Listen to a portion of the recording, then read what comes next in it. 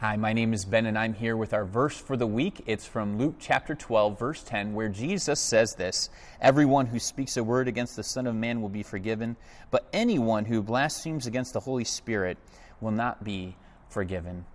I wanted to talk about this scripture today to alleviate fear in a lot of people I've talked to as a pastor through the years who are scared they've somehow committed this unpardonable sin of blasphemy of the Holy Spirit. So I want to talk about what Jesus is saying, what he's not saying here in this text. It really helps us to look up other scriptures where he's talking about this in Matthew and Mark and recognize that what's happening is Jesus doing these amazing things for people. He's healing them um, of disease, he's healing their bodies of uh, physical ailments.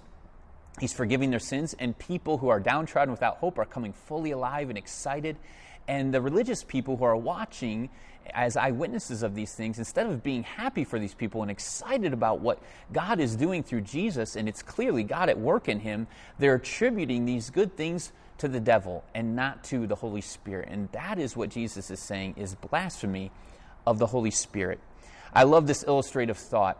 It says, Once you declare the spring of fresh water is in fact polluted, you'll never drink from it.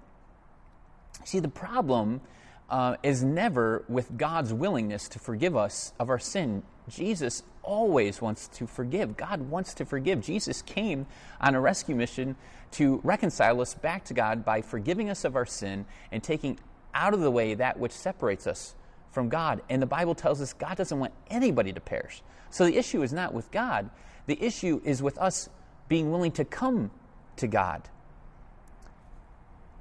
and you know, it's possible to so badly not want God to be true that no matter what He reveals to you, no matter what works are done, you so badly want to be your own God and remain autonomous from Him that you refuse to accept even obvious things that He's doing in your life to get your attention, to draw you to Himself. And, and the question is then, why would anybody do that?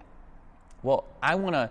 Um, I want to kind of guess that part of the problem is we don't think that God has our best interests in mind. We don't really believe that if we were to come to Him, uh, He would bring us fullness of life and joy. And maybe that's part of your church background. Maybe you're raised in a church where, man, you're like, if this is what heaven's like, I'd rather go to hell. I mean, is that bad? Is that boring? You know, and I'm just joking around a little bit. But um, maybe you've just been seeing representations of Christianity that are just not appealing to you. And I just want to tell you, Jesus is the authentic deal. And he says, At my right hand are pleasures forevermore, that if you'll come to me in my presence is fullness of joy. In fact, Jesus says something audacious to us in John chapter 15.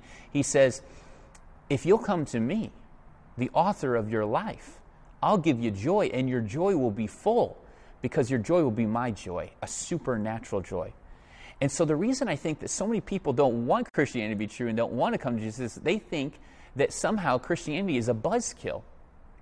Somehow God doesn't want us to have fun, but the truth is we're settling for so much less than God has for us when we refuse to come to Him and learn from Him and see His goodness and receive His nature into us because He wants to put His love in us. He wants to put His joy in us. He wants to put His peace in us and make us come fully alive.